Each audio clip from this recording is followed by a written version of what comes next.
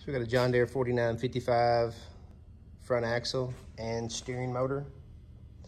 This is a conversion for a 4650 or 4850 with the ZF axle.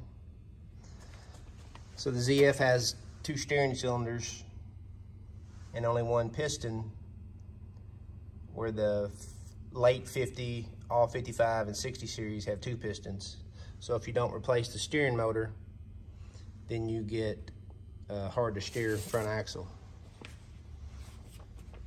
So it's a complete axle, front support, steering motor, whatever you want to call it. This is not required, it just happened to be on it.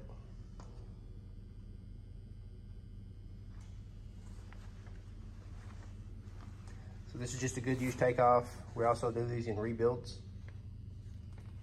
Where we basically reseal the front support, swap out the pivot pins.